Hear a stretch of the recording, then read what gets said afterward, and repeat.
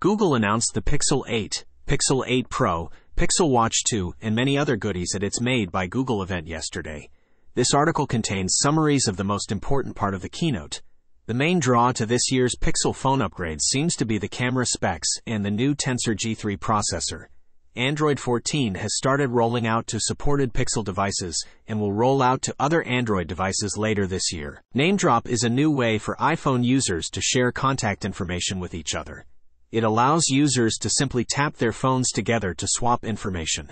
The feature is available to all users with supported iPhones on iOS 17. Users will be able to select what information they share with other people.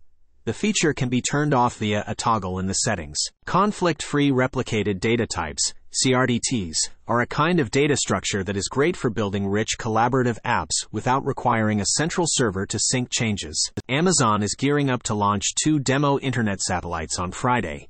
The satellites will ride aboard United Launch Alliance's Atlas V rocket from Cape Canaveral Space Force Station in Florida Amazon aims to provide internet service to both individual users and large corporations.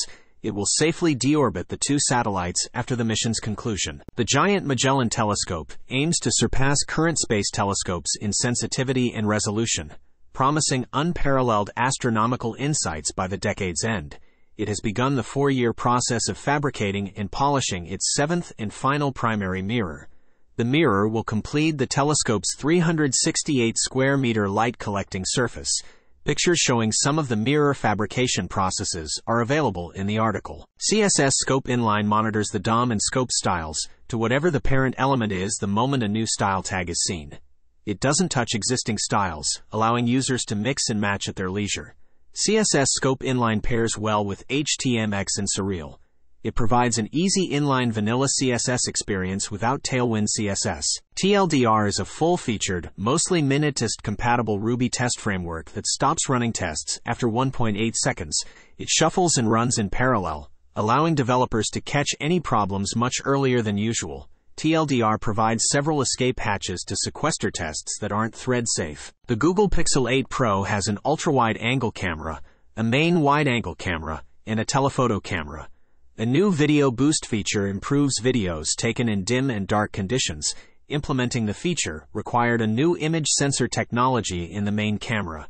The Tensor G3 GPU is responsible for pre-processing video for Video Boost.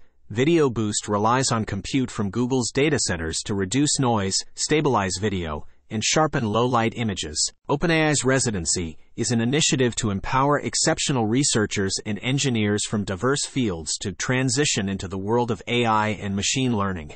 It is especially beneficial for researchers specializing in fields outside of deep learning and welcomes software engineers seeking to pivot into AI research roles residents will tackle real AI challenges while receiving a full salary. Tesla's Cybertruck was spotted towing a rocket engine at Starbase. Sometimes it's best to solve today's problem and move on. Tsubame Industries, a Tokyo-based startup, has made its Archax pilotable robot units available for pre-order for around $2.7 million. A video of the robot is available in the article. A startup called Aquagga has successfully deployed a PFAS destruction unit housed inside a modest 10 feet long by 8 feet wide shipping container. PFAS chemicals are great at deflecting water, stains, and grease, but the long-lived chemicals have contaminated drinking water everywhere. A combination of individualistic culture and being chronically online has caused some people to come to expect every experience to be hyper-personalized.